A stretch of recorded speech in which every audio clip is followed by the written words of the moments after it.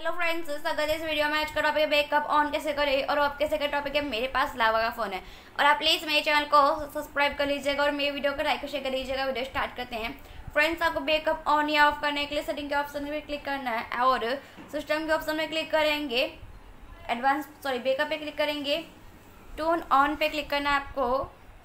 इसके बाद आपको यहाँ पे बैकअप फिर यहाँ पे ये ऑन हो चुका है, इसको वापस ऑफ़ करेंगे ऐसे और दोबारा ऑन उनको दिखा रही हूँ फ्रेंड्स आई होप आपको बेकअप बेकअप ऑन या ऑफ़ करना आ गया होगा, ये ऑन है और ऐसे ही ऑफ़ होगा. तो फ्रेंड्स आप प्लीज़ मेरे चैनल को सब्सक्राइब कर लीजिएगा और मेरी वीडियो को लाइक और शेयर कर लीजिएगा फ्रेंड्स मिलते हैं नेक्स्ट वीडियो में. तब तक के लिए नमस्कार.